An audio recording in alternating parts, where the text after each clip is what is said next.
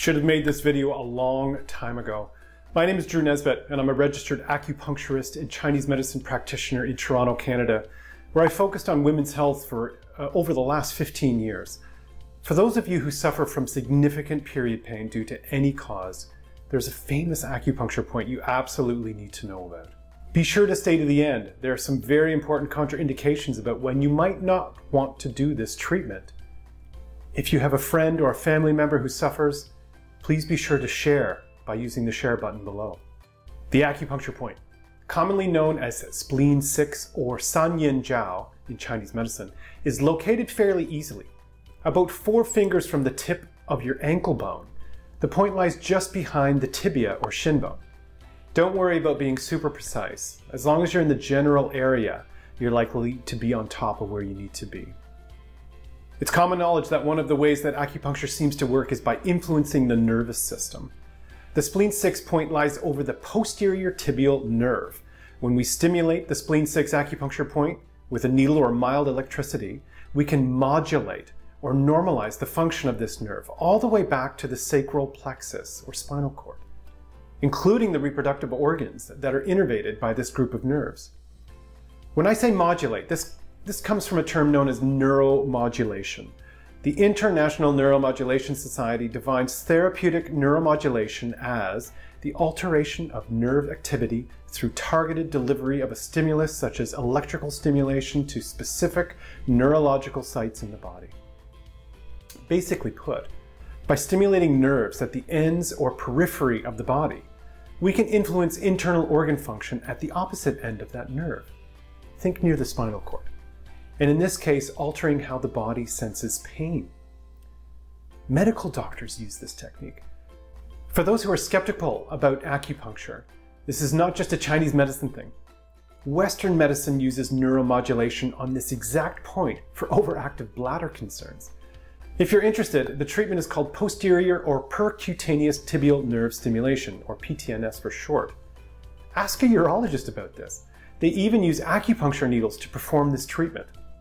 I've added a YouTube link in the descri description below if you want to see the medical doctor performing this with an overactive bladder patient. Don't worry though, the treatment I want you to do involves no needles. Instead of using a needle with electricity to stimulate this point, all you need is a normal everyday TENS unit, also called transcutaneous electrical nerve stimulation.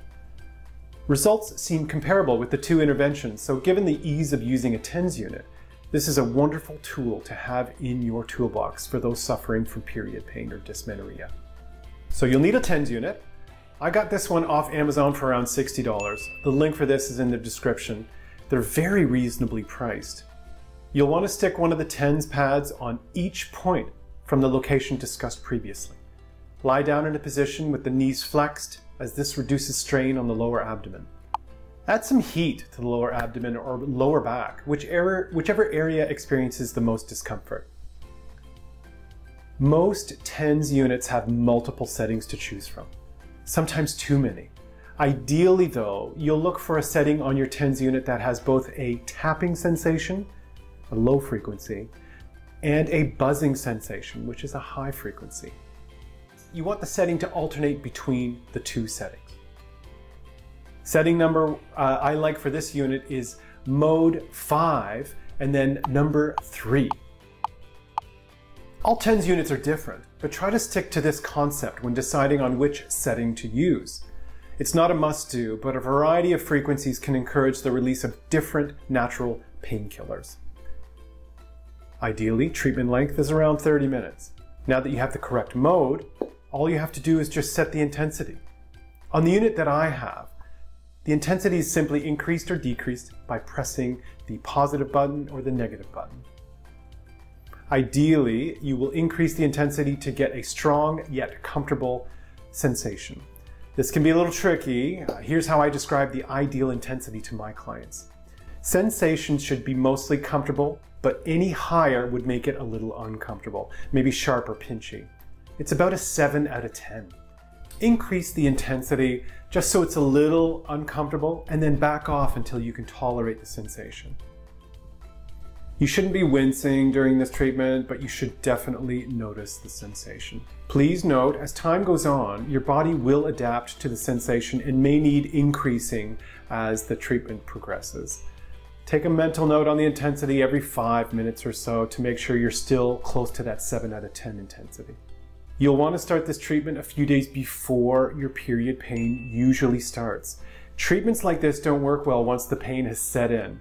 It's definitely best to intervene before the pain starts for this to be effective. As mentioned, do the treatments for 30 minutes each day until after your typical period pain is over. Now this is why I wanted you to stick around to the very end of this video. This is very important.